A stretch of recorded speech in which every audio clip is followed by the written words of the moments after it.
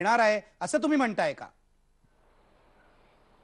नाही आता चर्चा ज्या पद्धतीने त्या मुख्यमंत्री सन्मान्य मुख्यमंत्र्यांकडे झालेली आहे त्या चर्चेतला जो सार निघाला असेल त्याची माहिती त्यांनाच खास करून विवेक पंडितांना चांगल्या प्रकारे आहे. आणि नेहमीच आपण राज्यामध्ये पाहिलं आणि देशात सुद्धा जनभावनेचा आदर करण्याचं काम आमच्या काँग्रेसच्या सरकारने या ठिकाणी केलेलं आहे.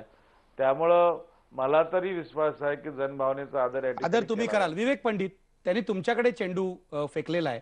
मला सांगा काय चर्चा झाली आज? मुख्यमंत्र्यांनी असं सांगितलं का की जनभावनेचा आम्ही आदर करू?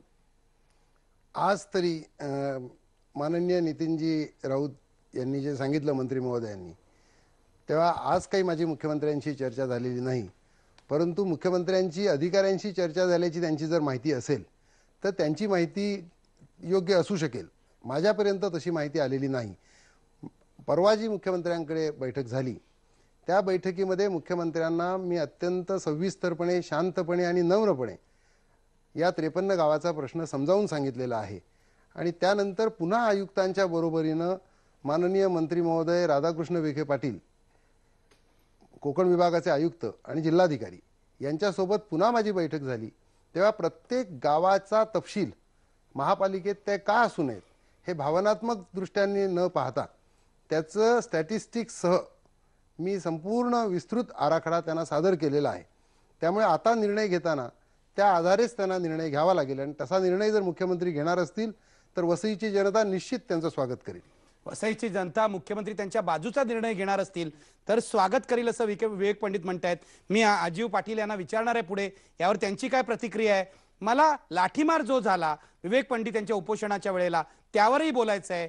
कारण अशा प्रकारे लाठीमार करणं मानवी हक्कांच्या मर्यादेत बसतं का हे विचारायचं आहे. माझ्यासोबत फादर दिब्रेटो येणार आहेत. माझ्यासोबत हितेंद्र ठाकूर यांना आणण्याचा प्रयत्न आमची न्यूजरूम करते पण इथे ब्रेक घेऊया. ब्रेकपूर्वी प्रश्न पहा.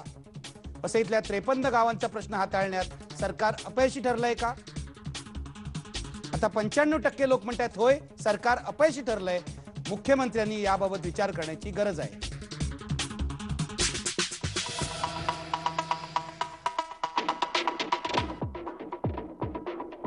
ब्रेकनंतर तुमचं स्वागत. आता मला वेगळ्या मुद्द्याकडे जायचंय. विवेक पंडित मगासपासून जे चाललेलं आहे तुम्ही म्हणणं हे बिल्डरच्या फायद्याचं आहे हितेंद्र ठाकूर यांनी जमिनी बळकवल्या वगैरे वगैरे.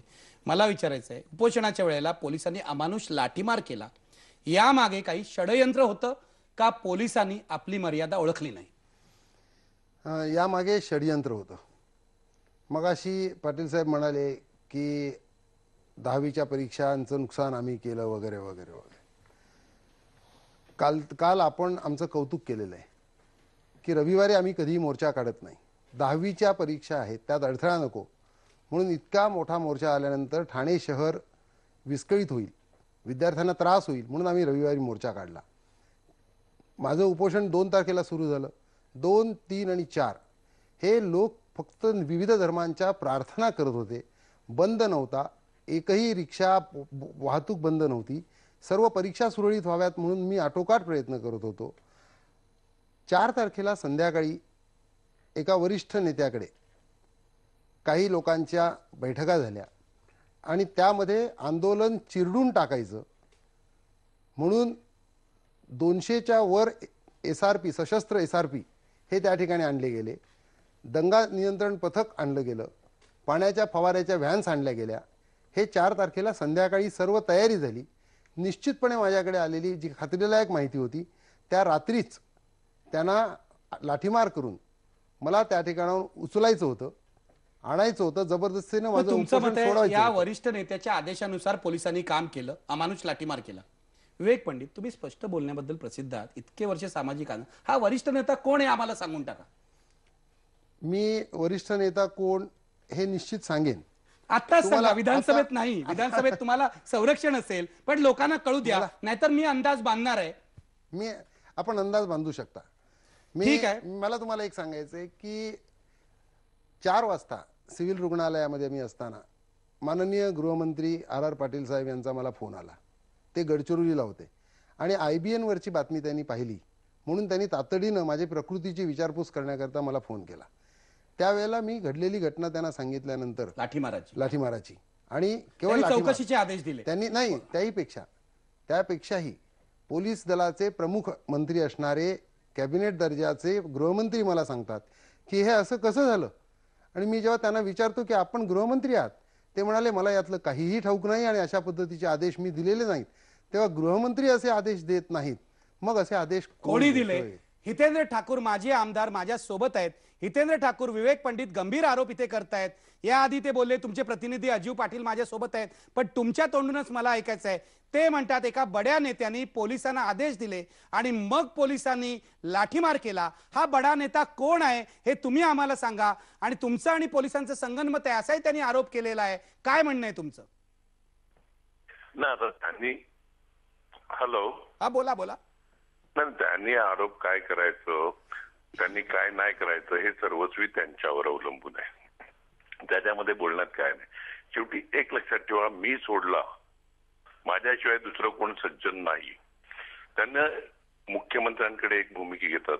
कमिशनर साहेबांनी मुख्यमंत्र्यांच्या वर्षा आपलं सह्याद्री रेस्ट हाऊसवर क्लिअर कट सांगितलं. काय? आणि अमुक अमुक अमुक सांगितलं. आता राहिला माठी लाठीमाराचा विषय. कोणावरही मारहाण होणं कोणावरही लाठी उभारणं ह्याचं कोणही समर्थन करू शकत नाही. आता ते अं, गृहमंत्री साहेबांनी दिले मुख्यमंत्री साहेबांनी दिले आणखीन कोणी दिले किंवा जिल्हा प्रशासनाने लोकली परिस्थिती बघून. शेवटी यांना विनंती केली असेल. साधारणतः उपोषणाच्या वेळी विनंती केली जाते बाहेर नेलं जाते. मला इकडे एक दुसरा प्रश्न पण नजरेसमोर आणायचा आहे. का एखाद्या उपोषण एखाद्या महानगरपालिकेच्या बाबतीमध्ये पालघर जव्हार डहाणू भिवंडी वगैरे वगैरे गावातले गरीब आदिवासींना जागा वाटप करतोय तहसीलदार. हे सांगून आणणं ते आदिवासी म्हणजे वसई तालुक्याच्या महानगराचा प्रश्न महानगरपालिकेचा प्रश्न हा वसईतली लोक त्याच्याकरता आंदोलन करणं मी समजू शकतो. परंतु बाहेरचे जमिनी वाटप चालू आहे. वगैरे वगैरे सांगून आणणं आणि करणं या प्रकारचं एखादं काही झालं असतं चुकीचं तर ह्याला जबाबदार कोण? हे देखील बघितलं पाहिजे. बाकी लाठीमार करणं किंवा अन्य गोष्टी होणे हे पोलिसांनी पर- प्रकरण कशा प्रकारे हाताळणं हे संपूर्णपणे पोलिसांवर असते. परंतु याचं समर्थन कोणीही करू शकत नाही. हितेंद्र ठाकूर तुम्ही समर्थन केलेलं नाहीये. मला तुम्हाला शेवटचा प्रश्न विचारायचा आहे. त्रेपन्न गावं महापालिकेत सामील करण्याबाबत तुमची स्पष्ट भूमिका काय आहे? मला स्पष्ट भूमिका माझी हे आहे की अगोदर कॉर्पोरेशन माझी भूमिका आहे ना कॉर्पोरेशन सकट झाली पाहिजे. आणि ह्याच्यामध्ये कॉर्पोरेशन झाल्याने अडचणी काय होतात तेवढं मला सांगा. आपण मला मी तुमच्या इकडे येऊन बसेल. माझा फक्त एकच असेल का आपण शांतपणे चर्चा करायला पाहिजे. अहो घोड्यावर टॅक्स गद्यावर टॅक्स झाडावर टॅक्स या प्रकारचं कंपाऊंडवर टॅक्स झाडावर टॅक्स महानगरपालिकेमध्ये तशा प्रकारचा टॅक्स कधी येतो का?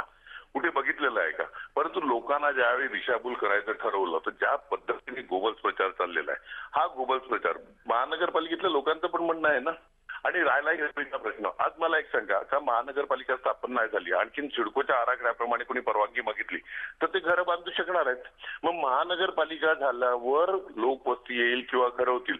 आज कोणीही तिकडे त्याचा प्लॉट आहे तो तिकडे घर मागून बांधू शकतो आज महानगरपालिकेत असताना किंवा नसताना सिडकोच्या परवानगीने. तो तिकडे जो झोन आहे सगळ्या गावात हा रिझन नाही नाही हितेंद्र ठाकूर हा मुद्दाच नाहीये. मुद्दा आहे ग्रीन बेल्ट मधली त्रेपन्न गावं महापालिके बाहेर ठेवली. तर तुमची काय हरकत आहे का? तुम्ही स्पष्टपणे लोकांना का सांगत नाही की तुमची काय भूमिका आहे? एक मिनिट वगळे साहेब माझी विनंती आपल्याला राहणार आहे का आपण स्वतः दौरा करावा. या विभागाचा दौरा केला आणि आपल्याला कळेल का ती हरित किती आहेत इंडस्ट्रीयल किती आहेत तबेले किती आहेत झोपडपट्ट्या किती आहेत चाळी किती आहेत ह्याचा संपूर्ण जर आपण दौरा करून बघितलं तर आपल्या लक्षात येईल. आणि हरित वसईत महानगरपालिका आल्यामुळे तिकडूनचा हरितपणा जाण्याचा प्रश्नच येत नाही कारण का तिकडे परवानग्या देण्याचं काम सिडको कर तिकडूनचा आराखडा कोणताही मुंबई महानगरपालिकेचा आराखडा देखील शासन मान्य करते. मुंबई महानगरपालिका शिवसेना बीजेपीची सत्ता आहे त्याच्यामुळे त्यांच्यामुळे सँक्शन होत नाही.